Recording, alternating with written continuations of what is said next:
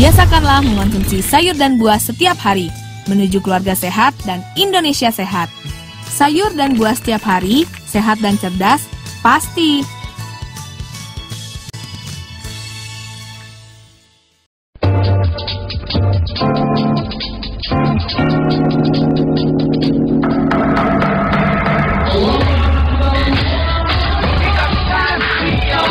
Buka puasa. Ini wajib teh pucuk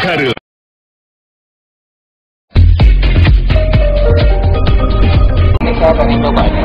Pengen coba pedasnya. Beda sama mie yang lain.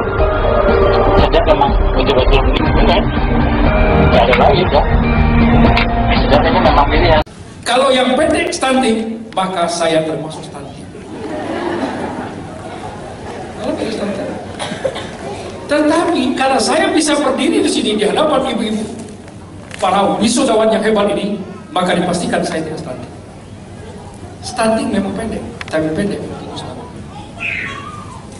Ada yang kerdil, ada yang cebol, itu mungkin faktor genetik. Orang tua hebat, dan bukan saja untuk keluarganya, tetapi juga untuk lingkungan sekitarnya. Mari sebarkan keterampilan, mari sampaikan pengetahuan kita kepada masyarakat di sekitar kita, khususnya kepada calon ibu dan para ibu dan para pasangan usia subur. Kemudian terakhir saya sampaikan eh, kepada ibu-ibu yang akan diwisuda sebentar lagi, tolong ibu-ibu saya berharap saya berharap juga sampaikan pesan-pesan untuk pendewasaan usia perkawinan karena dengan banyaknya pernikahan di usia anak usia dini anak melahirkan anak kemudian banyak muncul jus-jus di mana-mana jadi Pak Waku jus ini bukan minuman Pak tapi janda-janda usia sekolah kita sedih Pak janda-janda usia sekolah. Ini jangan terjadi ke kita. Ini melalui ibu-ibu para orang tua hebat ini.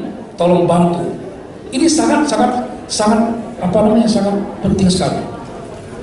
Kemudian Pak Wakil Gubernur, Bapak Ibu sekalian, para wisudawan, Ibu Ketua Tim PKK dan hadirin, saya ingin sampaikan satu temuan yang sangat menyedihkan, memprihatinkan.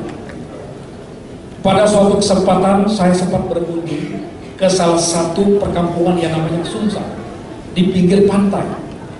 Di sana banyak berjualan kuliner-kuliner pempek dan udang. Itu ada satu pasar. Saya lihat yang jualan ini anak-anak. Anak-anak tapi menggendong anak. Saya sangka adik-adiknya. Mbak, mbak, saya tanya, ini adik yang nomor berapa? Mak, pak, ini anak kedua saya. Terkejut saya. Anak kedua. Mbak umurnya berapa? Umur saya 15 tahun. Nikah umur berapa? Umur 13 tahun. Sedih saya mendengarnya. Dan anaknya nampak tidak sehat. Saya curiga ini.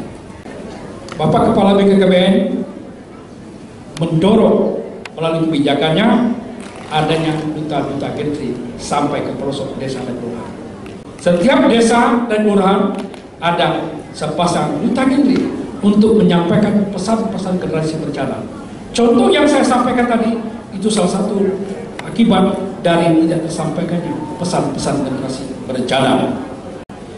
Oleh karena itu, melalui Ketua Tim Penggerak PKK Kabupaten Kota, itu saja yang dapat saya sampaikan pada kesempatan ini. Demikian, terima kasih atas segala perhatiannya. Bila itu wal hidayah. Wassalamualaikum warahmatullahi wabarakatuh.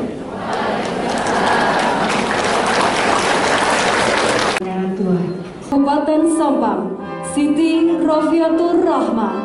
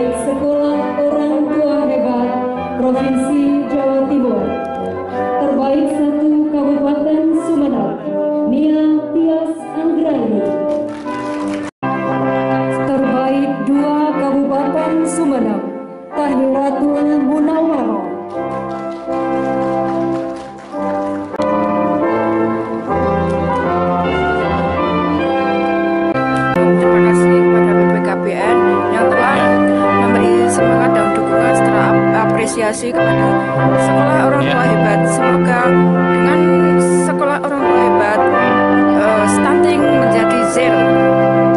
Harapannya Bu?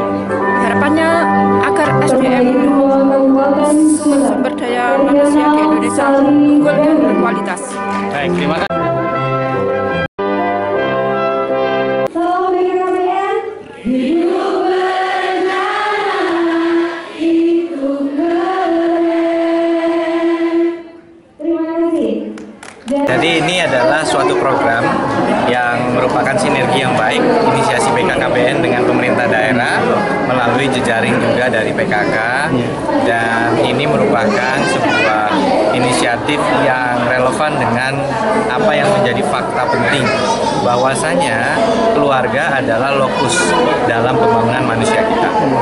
Pendidikan di sekolah hanya beberapa jam dalam sehari. Sisanya adalah peran orang tua. Semakin dini usia anak, semakin penting lagi peran orang tua. Dan semakin dini usia anak, semakin besar justru dampaknya kepada kehidupan selanjutnya bagi anak tersebut.